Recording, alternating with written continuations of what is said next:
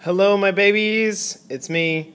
Life cycle of a lake. Amazing. Look at this. Canoes. It's going to be awesome. Love you. Bye. Before we get specific about what's going on with lakes, let's talk about what's in a lake, which is water, in case you forgot. Water freezes at zero, in case you forgot. I think you probably know that. It snows here in Minnesota if you didn't get that message. So at zero, it turns from ice to snow, or from water to ice. Excuse me, I don't even know what I'm talking about. And 32 degrees Fahrenheit. But water is really weird in terms of density. If you have metal, for instance, if you cool the metal, it will become more dense. The colder it becomes, the denser it becomes. Or if you warm it, the less dense, or it will expand. Water is different than that. Um, water is densest at 4 degrees Celsius or 39 degrees Fahrenheit, which means that if you heat water up above 4 degrees, so 5, 6, 7, and anything higher than that, it will become less dense and expand. And also, if you go below 4 degrees C, so into the freezing re- ranges, it will become less dense and expand. And this is why ice cubes expand when you put them in the freezer. So now what we're going to talk about is what happens to the lake in one year's time. What happens during summer, fall, winter, and spring. And basically they go through like an annual cycle like almost anything in during those seasons. And basically what you're going to find is the lake will either be doing one of two things. It will either be stratifying, which means stratification means that there will be layers. So what are the layers that you will see in the lake? You don't actually see it, but there will be layers of water filtering out according to temperature. So some seasons will be stratified, and some seasons will be mixing. So there will be no layers of um, water according to temperature, and they will all be mixing together. All right, so now on to the big question. What happens to the lake in one year's time? I know you've been dying to know, and I'm glad to tell you. So let's start with the best little season right here, which is summer, because you know why? You're not in school in summer and we're outside and there's a sun and we're frolicking and all the sunshiny rays are going to the lake and it's making it warm and delicious and we swim and it's fun. And the reason why the sun is so fabulous is because it heats up the water. So look, if we look at the water right here, it's 22 degrees C. It's going to be warm because the top layer of the lakes receive all the sunlight, and so they get warmer and hot, hotter. Um, we also know that the densest water is 4 degrees Celsius. So notice that at the very bottom of the lake right here is the 4 degree C water. It will always be at the bottom of the lake because it's the densest form of water. So notice that the densest is here, and then it's definitely warmer up above. So what we find is that the temperatures get warmer as you go from the bottom up. And they actually, the water kind of layers out in different bands of temperature. And so at the top, we've got our bands of warm temperature, and this is the top of the lake is called the epilimnion, which is like this fancy word for like the top of the lake, because we have to have a fancy word for that. Epi meaning the upper, and limnio meaning lake or fresh water. And at the bottom is hypolimnion, which is the bottom portion, or and it's kind of cut off. Um, it has less amounts of light, sunshine, and uh, as a result, less amount of bi biological activity, and sometimes may even get a dead zone occasionally. But this is what's going on this summer. So what we have is layering, and here in the summer we've got stratification. All right, so layering of water according to temperature. Then when we get to the fall, here we go. We've got a little sunshine. La la la la la. Oh, goodbye. No more sunshine. All right. The, well, the sun's not going away completely, but it's getting less and less. It's not as hot. And notice that the temperature starts to go down in the fall. And what happens is eventually the temperature at the top of the lake is going to hit 4 degrees C around October, November. And that's the same temperature as what it was in the bottom of the lake. So since they're all the same temperature, the water's not forming different bands or layers of temperature, which means that water that was hanging on the bottom all summer can now move to the top, and water that was hanging out the top all summer can move to the bottom. We call this mixing or turnover. And this is kind of a good thing because all of the oxygen in the system is getting redistributed. All of the nutrients in the lake is getting redistributed because the water's cycling around. It could be bad if you've got pollutants in there. If the pollutants are in the bottom of the lake, they might get um, mixed up again. But generally, it's good to give that lake a little fresh bath, all right? And that's kind of what it's doing to itself. It's turning itself over.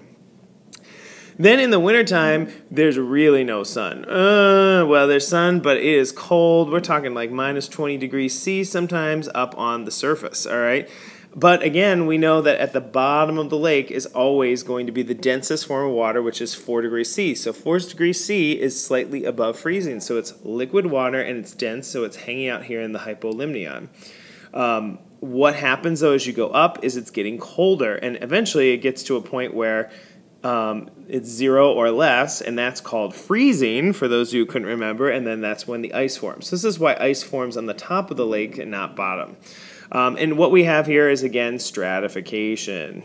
Strat, I'm going to say for that. And this way it's stratifying, but this time the stratified layers are going from colder to the top to warmer in the bottom. And if you think this is warm right here, oh my god, you need a check in the head. So then eventually winter turns to spring in the magical seasons of life and the sun finally comes out again, and starts shining some of its lovely solar, delicious solar energy in there. And what happens is that ice melts, the temperature goes up, eventually hits 4 degrees C, which matches the density of the bottom of the water at the bottom of the lake.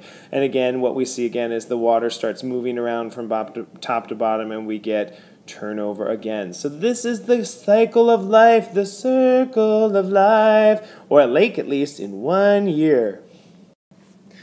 So that takes care of our little story of the lake over one year, but what about the whole life of the lake? You know, like we get a birthday every year, but we live many years. So lakes live many years, thousands, millions of years. So lakes age just like people. We kind of have three age groups for them. We've got baby lakes or oligotrophic lakes.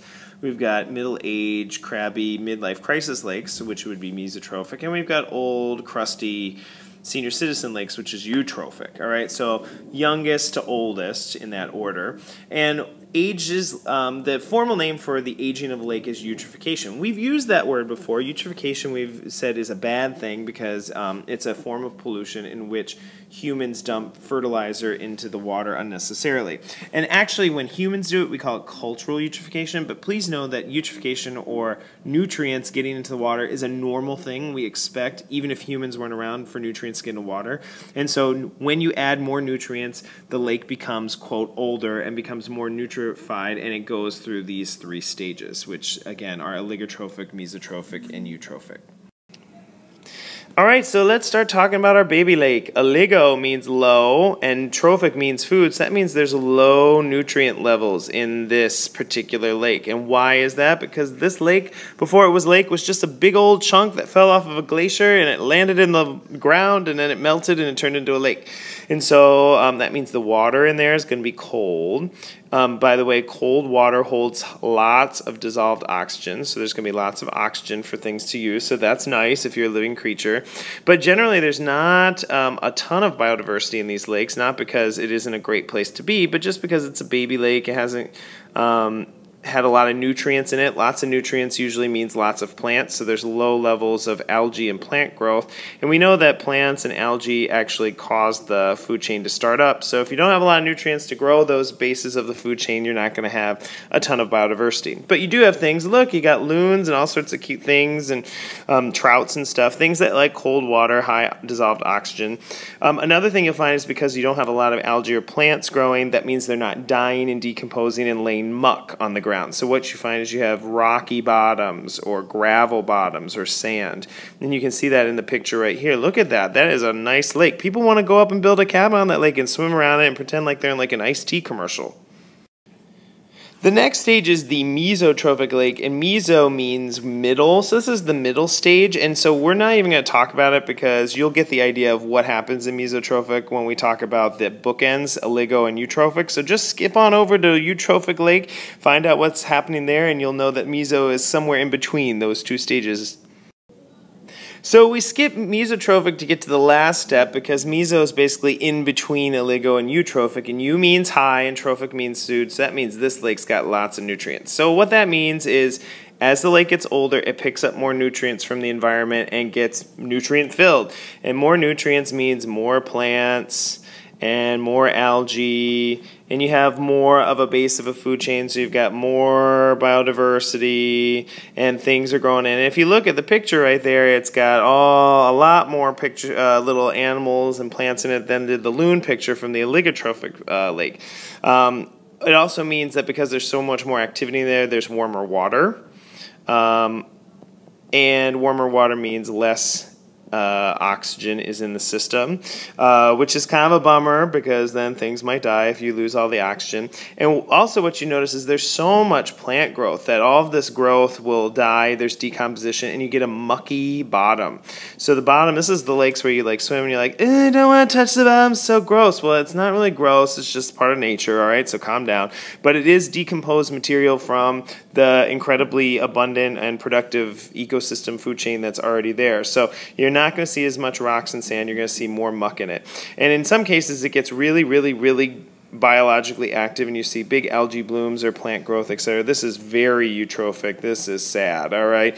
But this is what happens when you put a bunch of nutrients in there.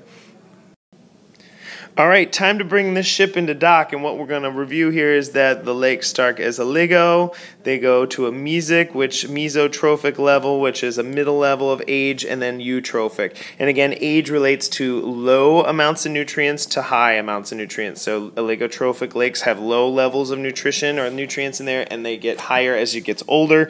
And when it gets higher, there's more activity, which um, with biology, so we have more creatures living in there. We also have more creatures decaying and dying making the bottom more mucky, um, and it's also changing the oxygen levels and um, water temperature over time from colder to warmer and then high to low oxygen levels. Humans can impact this as well, and how we impact is we just can make this cycle, which usually happens over tens of thousands of years, um, we can make this happen in much less time by adding nutrients in the form of fertilizer ourselves. So I hope you have a great day. You are a wonderful group of people, and smile and wink like this weird little thing here that I just drew. Have a great time. Bye bye. Bye.